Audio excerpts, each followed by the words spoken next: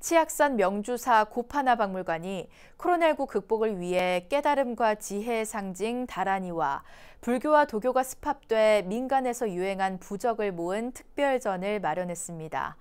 이번 전시회에선 우리나라와 중국, 티베트, 몽골, 일본 등 아시아 여러 나라에서 역병이나 고난을 극복하고 마음의 서원을 담아 사용했던 다라니와 목판, 부적 등 모두 100여 점을 만날 수 있습니다.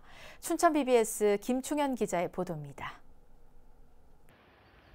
원주시 치악산 자락에 자리한 명주사 고판화 박물관이 코로나19로 지친 불자들과 국민들을 위로하고 재난 극복에 도움이 되기 위해 마련한 마음의 백신 다라니와 부적 특별전.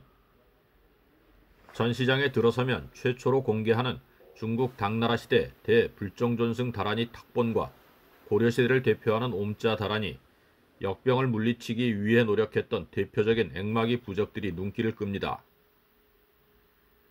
불보살님의 지혜와 복덕을 범어로 담아낸 다라니는 모든 장애를 벗어나는 공덕을 얻고 깨달음을 그려내는 신행의 상징입니다. 어쨌든 코로나19가 길어지니까 어, 사람들이 점점 지쳐가고 있을 때 어떻게 하면은 국민들에게 희망을 전해줄 수 있을까 하다가 저희 박물관에 있는 유물 100여 점을 선별해가지고 아, 국민들에게 마음의 백신이라 그래가지고 좀 더 희망을 줄 수 있지 않을까.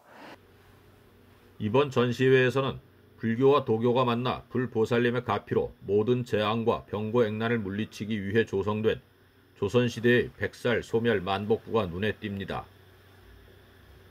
이와 함께 신라 출신 고승으로 984년 일본 전역을 휩쓸었던 역병을 물리친 원삼 대사의 액막이 부적인 각대사 부적, 티베트의 질병 퇴치 다라니, 탑 다라니 등 다채로운 다라니와 부적을 만날 수 있습니다. 다라니는 그 신비한 힘이 있을 뿐만 아니라 내 마음을 정화시키기 때문에 어떠한 나쁜 것이 들어왔을 때도 내가 마음을 굳건히 하고 있으면 모든 걸 막아낼 수가 있잖아요. 우리 스스로가 다란히 부족을 마음의 백신으로 생각하고 이걸 의지하고 이겨낸다면은 굉장히 큰 어, 희망의 불꽃이 되지 않을까 이렇게 생각해 봅니다.